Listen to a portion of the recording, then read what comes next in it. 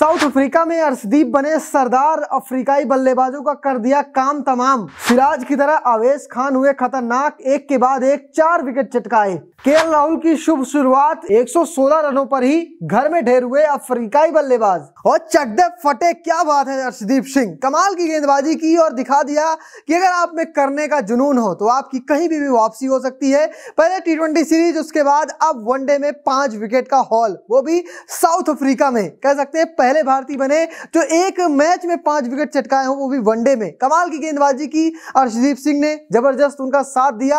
आवेश खान ने और टीम इंडिया को कह सकते हैं, एक आसान सी जीत मिलने वाली है। 116 रनों पर ही पूरी साउथ अफ्रीकाई टीम आउट हो गई, जिनके सामने लगता था कि शायद हेनरी क्लासेंडर मार्कम जैसे बड़े बड़े खिलाड़ी हैं रीजा हेंड्रिक 200-300 रन बनाएँगे और टीम इंडिया को थोड़ी मशक्कत करनी पड़ेगी। लेकिन भारतीय गेंदबाजों ने कहा, ज़रूर आपकी बल्लेबाजी अच्छी होगी, लेकिन हमारी गेंदबाजी भी किसी से कम नहीं है। बुमराह नहीं है, सिराज नहीं है, शमी नहीं है। इसके बावजूद भी टीम इंडिया ने साउथ अफ्रीकाई टीम को मात्र एक सौ सोलह रनों पर चकनाचूर कर दिया। अब भारतीय टीम को जीत के लिए मात्र और मात्र सिर्फ़ 117 रन बनाने हैं। इसके साथ ही सीरीज़ में एक ज़ीरो से आगे हो जाएगी। अगले दो मुकाबले और खेलने हैं।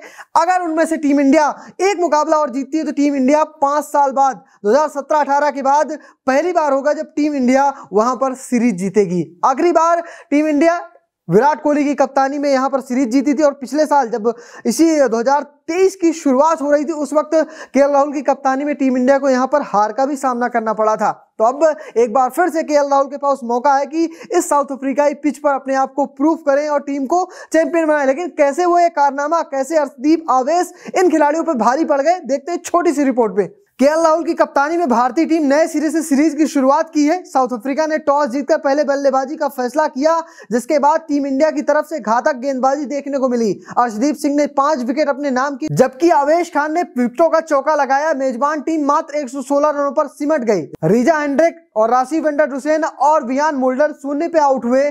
टोनी जोराजी ने 28 रन, हेनरी क्लासन ने 6 रन और कप्तान एरम मार्कम ने 12 रन बनाए। डेविड मिलर दो फिलक्लाउ ने 33 रनों का योगदान दिया। तो ये ऐसे कुछ रहा कि कोई भी बल्लेबाज 50 रन नहीं बना पाया और पूरी टीम मात्र 116 रनों पर ऑल आउट हो गई। ये दिखाता है कि साउथ अफ्रीकाई टीम इस वक्त थोड़ी सी मुसीबत में है। तो फ़िलहाल अब भारतीय बल्लेबाजों के पास बेहतरीन मौका है कि इसे 10 विकेट से साउथ अफ्रीका की जीत दर्ज कर और अपना रन रेट और अपना, कह सकते हैं, जो रेटिंग पॉइंट है उसे बहुत मज़बूत करें। आज ऋतुराज गायकवाड़, साई सुदर्शन पर सबकी नज़रें होंगी। ऋतुराज गायकवाड़, जो बीमारी की वजह से टी नहीं खेले थे, अब वनडे पे मौका मिला है और वहीं साई सुदर्शन, जिन्हें आज डेब्यू कैप मिला है तो देखते हैं दोनों खिलाड़ी भारतीय टीम के लिए क्या कुछ करते हैं, लेकिन टीम इंडिया की शुरुआत ज़बरदस्त रही। तो फ़िलहाल आप कैसे देखते हैं इस टीम इंडिया के प्रदर्शन को कमेंट बॉक्स में ज़रूर बताइएगा और पेज को फॉलो करना बिल्कुल भूलेगा धन्यवाद।